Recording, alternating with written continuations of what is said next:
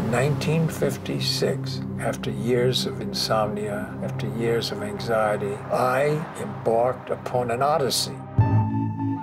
Dorian Paskowitz is a 58-year-old doctor who one day decided to give it all up and spend the rest of his life traveling with his family in a tiny camper from one wave to another.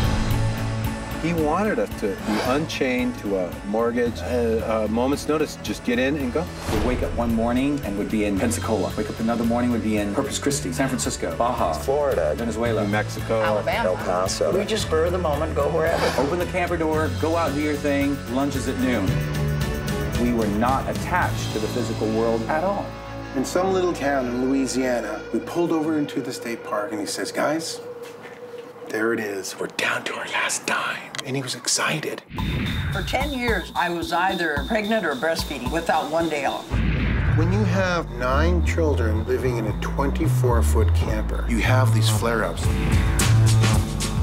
Eat healthy, live clean, serve clean. Dorian had us in such a tight diet. We couldn't have refined sugar, we couldn't have white bread. He fed us branches for breakfast. I wasn't some kind of radical. He used to play Chairman Mao's wake-up song to the nation every single morning. They go to a school I consider enormously demanding. I demand that they serve and be good at it. We would confront him on a daily basis. I want to go to high school. We did everything the hard way. If it was easy, then something was wrong. They're lazy. He's a dictator. He was Fidel.